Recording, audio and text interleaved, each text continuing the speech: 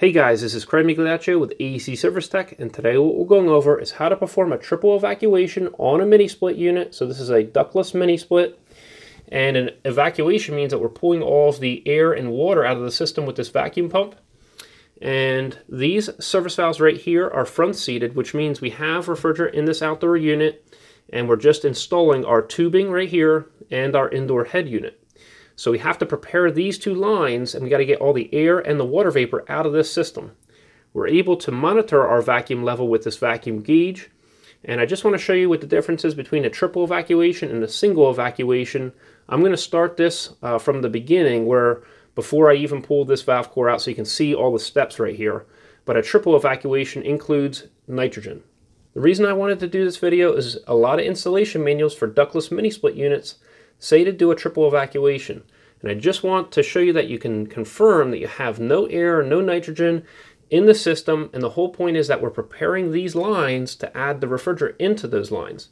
So you want to make sure that you don't have any air in there that will mix with the refrigerant. You want to make sure that you don't have any water in these in these tubes, any water vapor, because that will mix with the, the oil and that will end up creating alcohol and acids. And you remember that refrigerant and oil circulate through the whole system all the time uh, when the system's running and you have the electrical windings in the compressor, uh, those are exposed to the refrigerant and the oil. It's actually to cool the windings down. But if you have acidic oil in your system, it's going to break the compressor electrical windings down and you could have a compressor burnout. So it's very important to prepare these lines. So we're going to go ahead and I'm going to show you uh, from the very beginning how to set these tools up.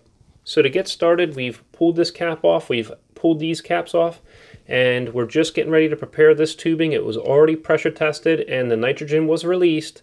So now these tubes are empty. There is refrigerant in this unit and it's being held back by the service valve. So let's just go ahead and pull this valve core out.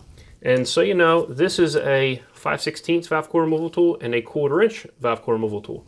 You can see that this one doesn't fit. So we're going to end up using this one for our vacuum setup, but we don't need to attach it quite yet. We can just go ahead and pull the valve core out because there is no pressure in this uh, line set right here. So I like to just kind of keep this off to the side altogether. There's our valve core right there. And we're pulling that out to reduce the uh, restriction right here. We want a good flow for our vacuum. Now we're going to install our 5 16 valve core removal tool. The other thing is these valve core removal tools typically have a valve core in the side right here, the side port. I always pull that out and I leave it out. I find no reason to have that extra valve core right there. And so I'm just going to go ahead and mount this on. And we need to use valve core removal tools once we remove the, the valve core because uh, you're going to need this tool in order to reinsert the valve core when you're all done.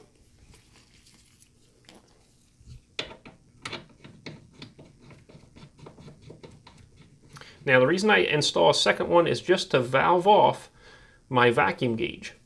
So this is my vacuum gauge and I just like to valve that off before I break the vacuum with refrigerant uh, because I don't want to get any oil up in this uh, sensor that's in here because then it has to get cleaned so I just valve it off ahead of time I have no problems then. Now we just install our vacuum hose So this hose connects right here to our vacuum pump.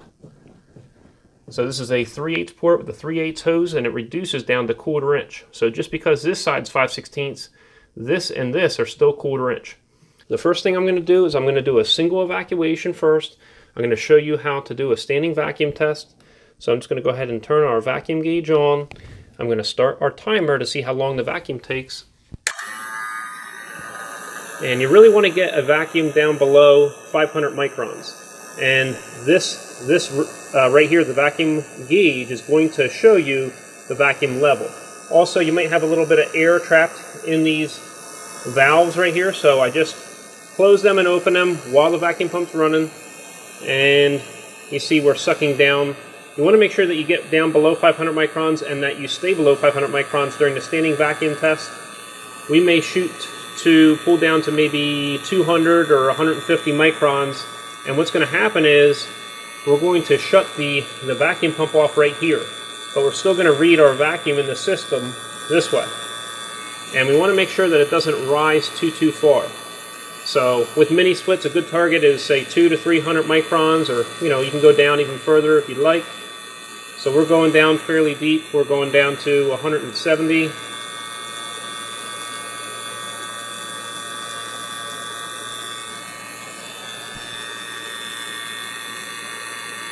It really doesn't take a real long time in order to pull vacuum when you remove the valve core. Also, you get a more accurate vacuum level reading because there's no restriction here.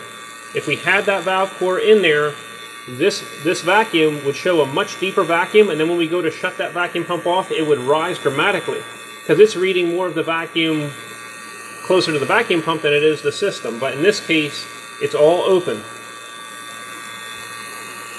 So I'm just going to close these one more time.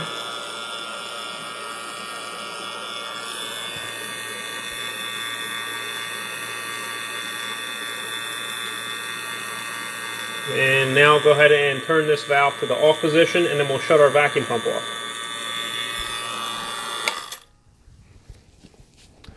I'm going to stop this. You saw it took about two minutes for that vacuum. Now we're doing the decay test or the standing vacuum test where we're reading the vacuum in the system. So we've shut off our vacuum pump right here. You notice that I don't have a manifold gauge set. I like to keep it as simple as possible with just the one vacuum hose and then my valve core removal tools, and my vacuum gauge.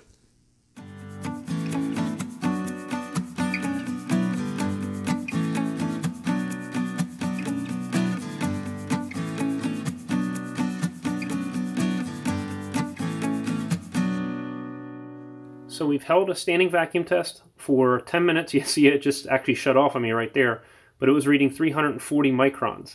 So we're pretty stable and we would be ready to add refrigerant into this system. Uh, just you know, this shuts off over, over a, maybe a, a 10 minute, 12 minute time period.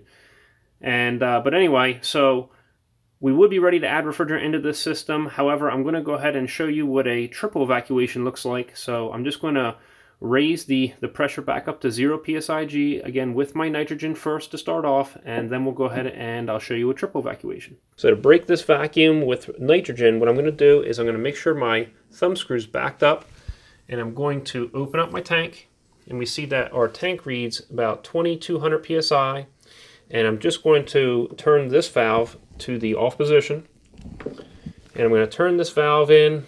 It's only got to move the needle just a little bit, and that's it. So it's not even worth attaching the, uh, the gauge set to it. Now we're going to purge the air out of this hose. So we just have nitrogen in here now. And what I'll do is I'll just shut this. I'll take my vacuum gauge off. You could do it either way, either from here or here. I'm just doing it from the top. Purge my nitrogen again. And so all you need to do, this valve is closed, so I'm just going to go ahead and put a little pressure in. So we're going to be at maybe 5, 10 psi, and we would just wait normally for, for 5 minutes. But that's all you really need to do. We're back up to positive pressure again. And then we can just go ahead and release that pressure. And now we're ready to add our vacuum gauge back on.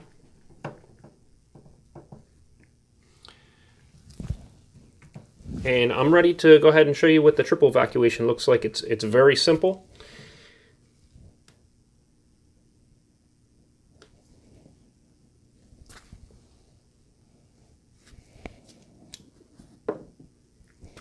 So we'll go ahead and start her off.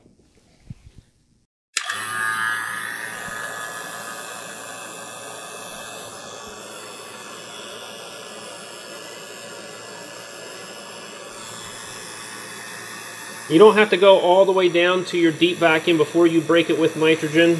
Technically, that could have been our, our first uh, breaking the vacuum with nitrogen, so we have to do that twice. And then the third time we pull a vacuum down, that's when we break it with refrigerant from the system.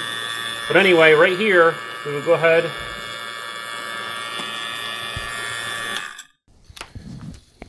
we will go ahead and now add our nitrogen.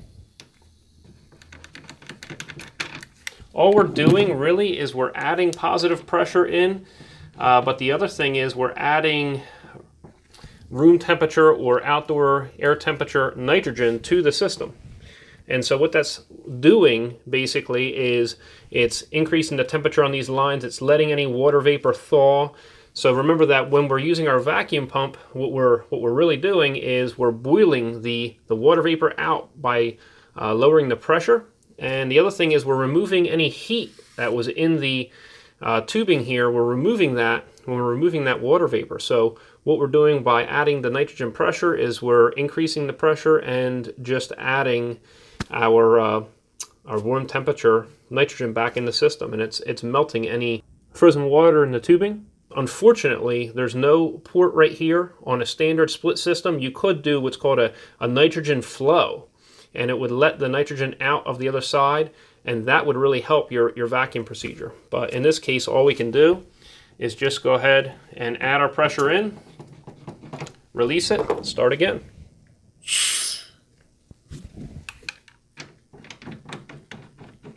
So that was our first one.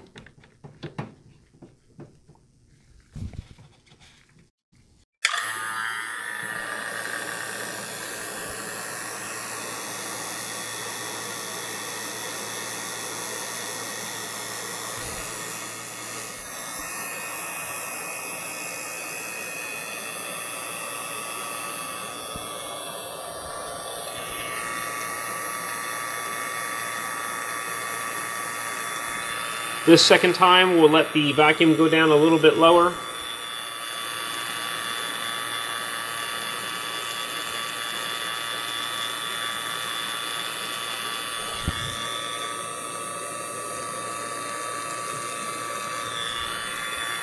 You see that we must have had some nitrogen in these valves.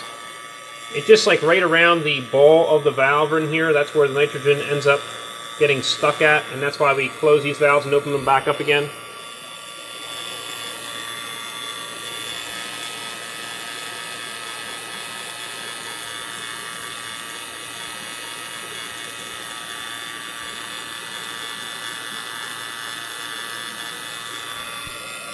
So you see we got pretty deep pretty quick.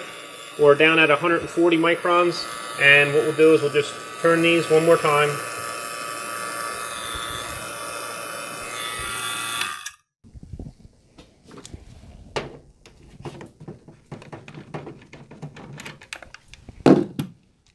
So when we add our nitrogen in and it may uh, mix with any water vapor that, that maybe is, is frozen, it gets thawed out, and then what happens is it comes out with the nitrogen uh, when you release your nitrogen pressure.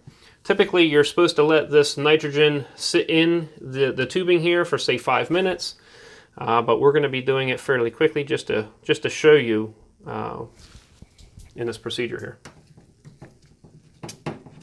I would much rather prefer a uh, nitrogen purge where we're able to push the nitrogen through from one side to the other. Remember that's dry nitrogen and uh, it's able to push any humidity that's in the air still or in the tubing, it's able to push it right out.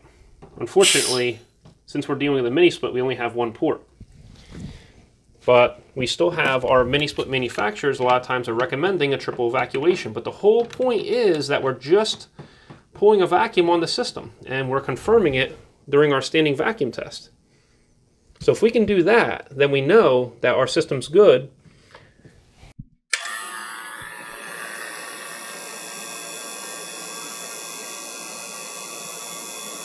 This time we'll go ahead and pull it down just a little bit deeper in vacuum, and then we're just going to go ahead and do our standing vacuum test. So all you do is you break your vacuum twice with nitrogen and you only need, say, 5, 10 psi that you're putting in there. And if you have another port, let it flow through, but in this case, we're just letting it sit in there. Uh, so if you are having a hard time pulling a vacuum uh, on a mini split system, number one, if this system was an existing system and uh, you're working on the tubing, if it once had oil in it, you may need to do uh, an oil blow through or oil blowout. Basically, what you would do is, you know, with these valves front seated, you would end up disconnecting this after after you recover any refrigerant that's in this tubing. Basically what you do is you disconnect this, you hook it to your nitrogen bottle, and you put a cup underneath here. You want to just catch any droplets of oil that come out. But the whole point is that you blow nitrogen through the whole tubing so it blows the oil onto the inner walls of the tubing. And you're not really blowing it out, you're just blowing it onto the inner walls. And then after that, you can go ahead and do your vacuum. Uh, so if you're having a problem doing a vacuum on a mini split system, maybe you didn't pressure test it long enough, you know, or maybe there's oil, like an oil glob moving around in here and that's messing up your vacuum. Uh, but otherwise, there could just be water vapor in, and you may want to go ahead and do a triple evacuation. Uh, but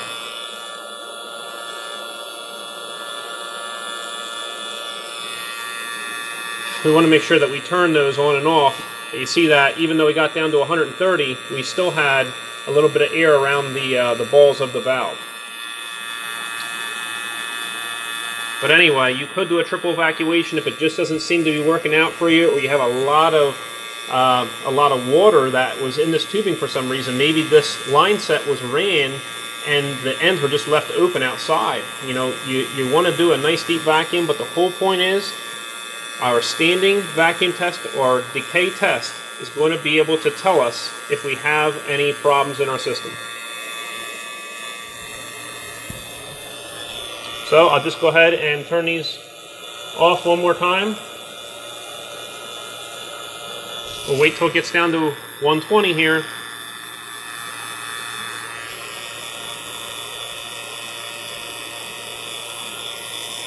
And that's it.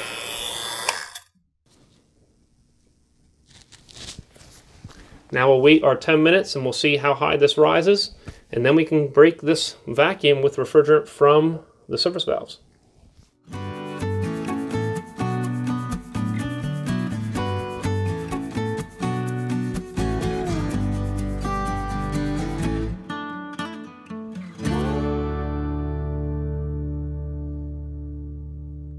So it's been 10 minutes and now we can break the vacuum with refrigerant from the outdoor unit at the service valves or by adding refrigerant into the valve core removal tool right here.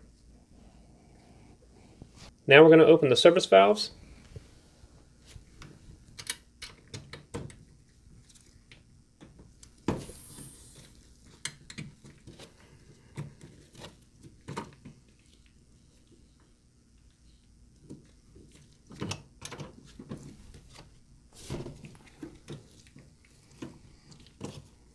So you could use this with a ratcheting wrench or just your Allen key. That's it. And so what I'm going to do now is I'm just going to take this off. We're at positive pressure right now. So I'm going to put my valve core back in here. And you want to make sure to not take this off either.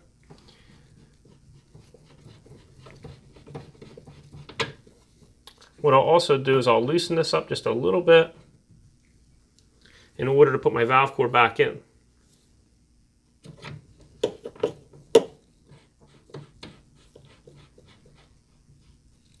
Open this up. We're going to purge just a little bit of air that's in here.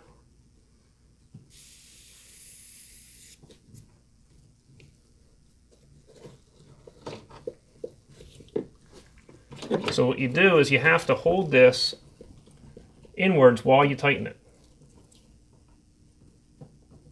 Just a little awkward for me trying to do this on the camera, but usually uh, it's not that difficult. After that, I shut that off. What I like to do is I put a cap on here with a hole in it, and I put a little uh, anti-corrosive bubble leak detector to see if there's any bubbles. So there's my little hole.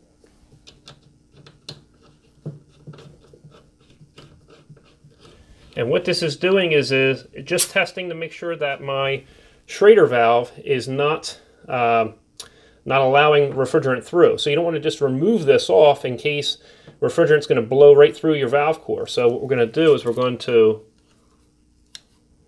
put our leak detector right there on the end and we'll see if it blows a bubble.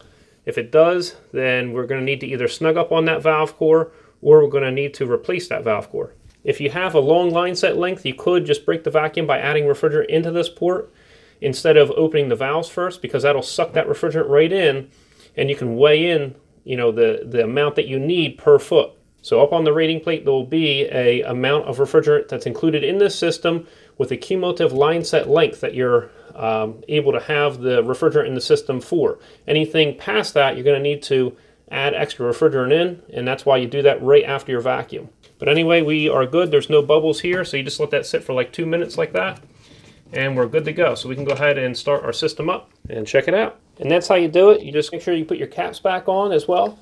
If you look for any of the tools used in this video, I have them linked down in the description section below. Also check out our website over at acservicetech.com where we have different resources there such as our book and our quick reference cards and we also have a bunch of articles there.